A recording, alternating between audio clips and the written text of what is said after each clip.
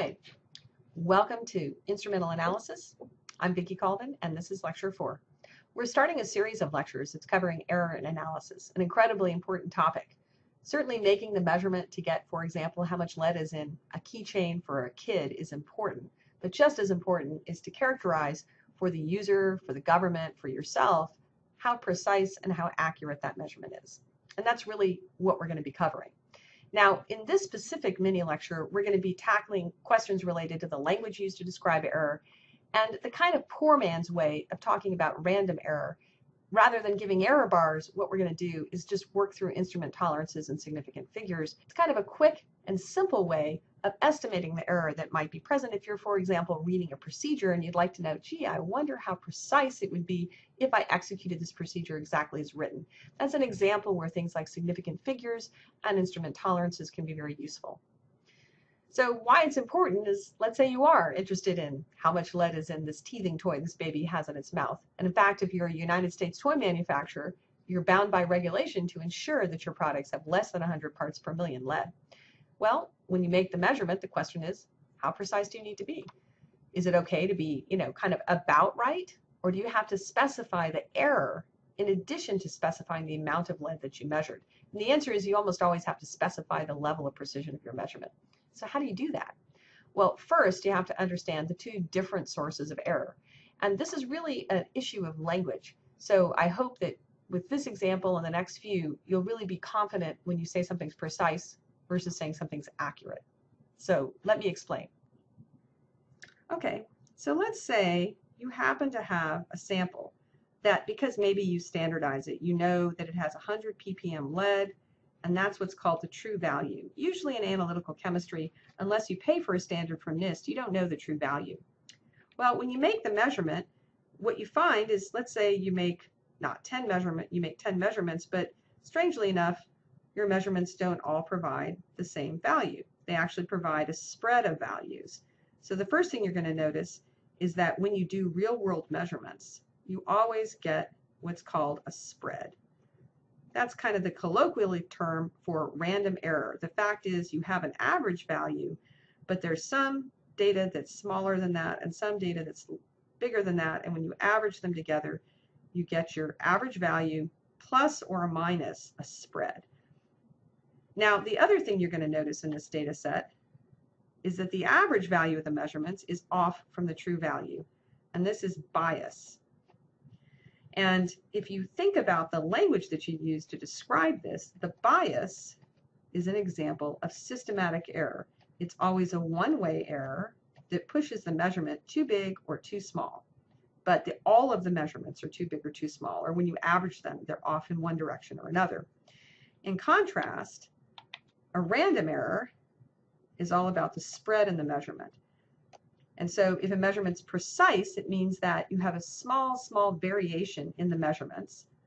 And if it's accurate, it means that there's very little systematic error. So just be careful when you use the terms precise and accurate because they mean different things. So let's go through some examples.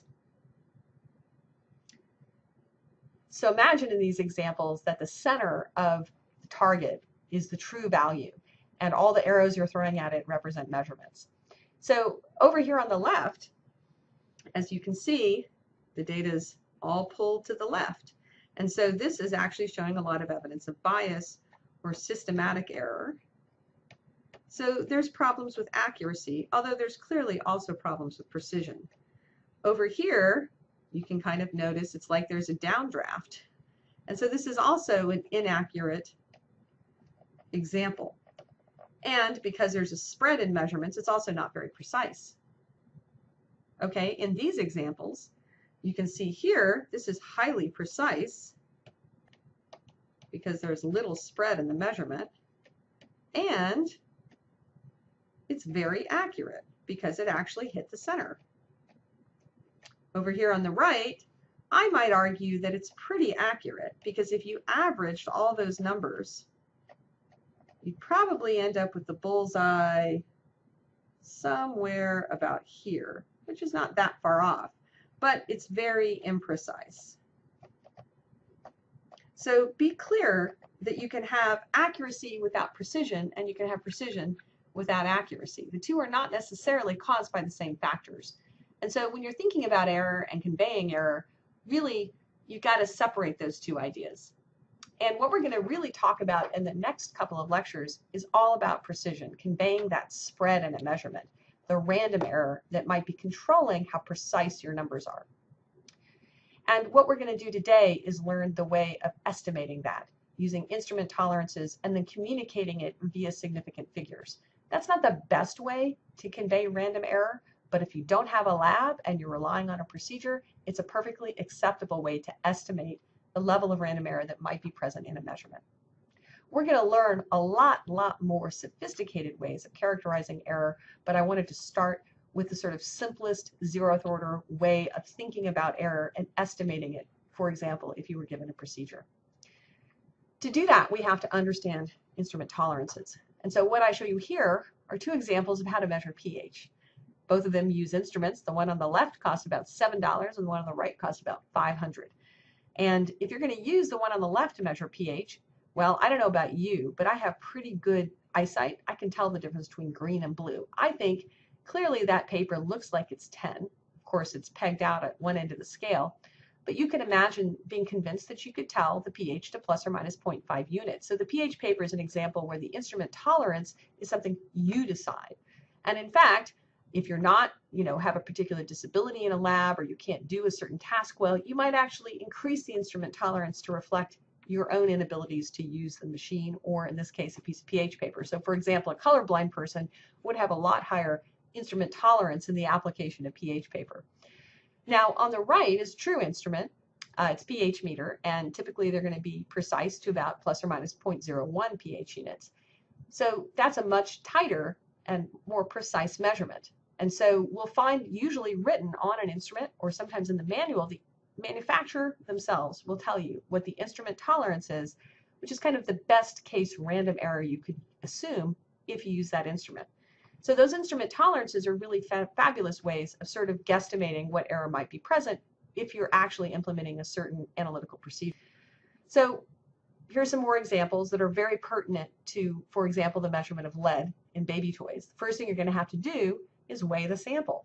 And so the balance that you use is going to be incredibly important because it's going to tell you the net weight of the sample, which is actually the denominator of the overall measurement of lead, which remember is parts per million. It's parts per lead divided by the total sample weight.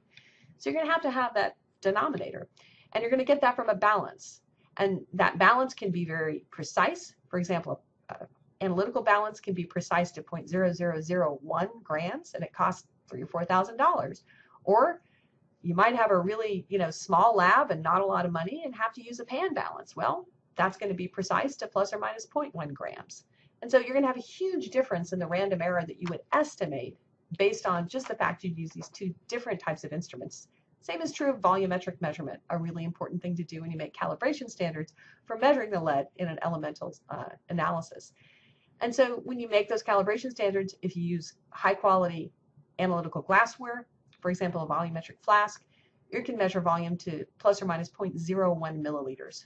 On the other hand, if all you have is a graduated cylinder, it's going to be plus or minus 2 mils. And in fact, as you can see here, if you zoom in, the manufacturer themselves tell you plus or minus 2 mils. They don't leave any, you know, you don't have to guess what error you should get if you use a graduated cylinder, which, by the way, you should never use in a real laboratory if you're trying to make a careful measurement. Likewise, a beaker is even worse. So understanding the instrument tolerances is really important for understanding what error you're going to get out of a certain procedure. And you can almost always find that for um, really conventional analytical glassware, any chemical uh, glassware, balances, the kinds of things you'd find in a lab. So once you have that information about tolerances, how do you communicate it? Well, you don't want to lie. So the most important thing is when you report out your values, you write them down in your lab notebook, you actually write them down in a way that in a shorthand kind of sense conveys to a reader what your level of precision is. In other words, you don't want to have any false precision in your reporting. So let's take the example of a keychain that might have your, your name written on it. Uh, and you're trying to figure out how much lead is in that keychain. Well, first thing you're going to do is you're going to measure the keychain. Let's say you did it with a pan balance, but what you wrote down in a lab notebook somewhere is 5.1235 grams for that. And we know that's wrong because a pan balance can only measure to plus or minus 0.1 grams. So you're going to be reporting to only the significant digit, the one that you can measure. And let's look at this other example. You did it on a really fancy balance. Well, you know that you know far more information than just five grams. If you're using an analytical balance, you should report to the digit of plus, if it goes plus or minus 0.0001, you report to that digit. If it's plus or minus 0.0005, you have a choice to make. You can report to that digit, or you can round up to only the third digit. So these aren't exactly hard and fast rules, but they do help you convey in a kind of quick way how precise your measurements are.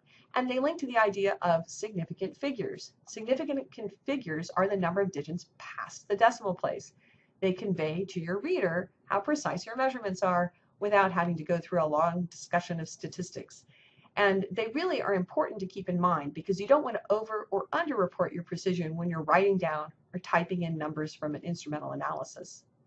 So understanding significant figures, how to manipulate them is also crucial. But remember, if you're having to like ask yourself, well, how many significant figures should I report?